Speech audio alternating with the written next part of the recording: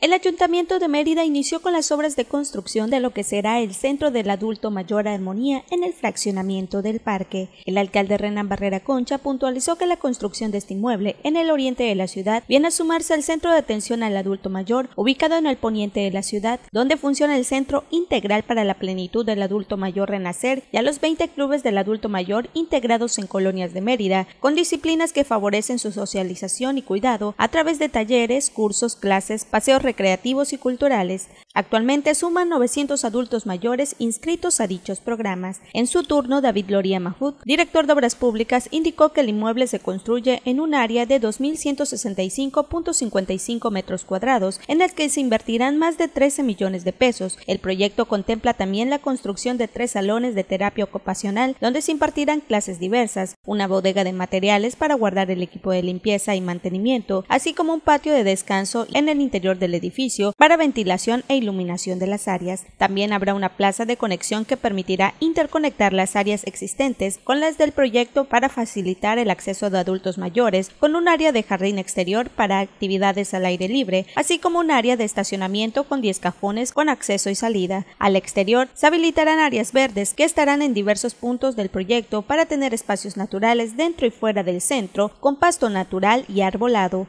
Notivisión